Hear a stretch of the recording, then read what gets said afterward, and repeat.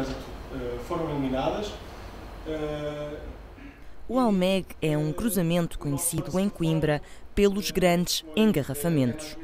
Com vias provenientes um pouco de todo o lado, a hora de ponta torna-se caótica. Então, e se alunos de engenharia civil propusessem uma solução viável para responder a esta situação?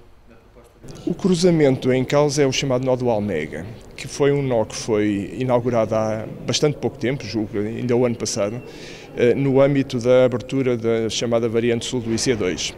Esse nó veio introduzir problemas de congestionamento significativos no acesso a Coimbra através da chamada Via Rápida de Taveiro.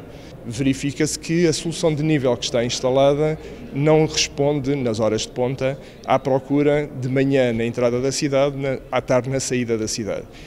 O nosso desafio foi achar que é possível, com uma solução de nível, mas um pouco diferente, usando sinalização luminosa, resolver o problema.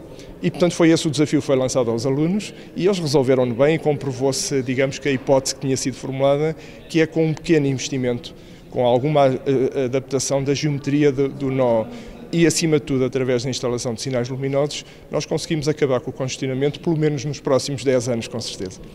O concurso chamou dois grupos de alunos de licenciatura para descobrir se, com algumas, poucas mudanças, é possível acabar com o trânsito na hora de ponta, no cruzamento do Almeg. Este projeto é um projeto eminentemente pedagógico. Portanto, é desenvolvido no âmbito do, de, de, duas disciplinas, uma de mestre, no mestrado integrado e a outra num programa de doutoramento, na área da engenharia de tráfego e, portanto, no âmbito das, eh, das competências que se pretende transmitir aos alunos, considerou-se que seria interessante desenvolver um caso prático concreto eh, com um grau de complexidade razoável.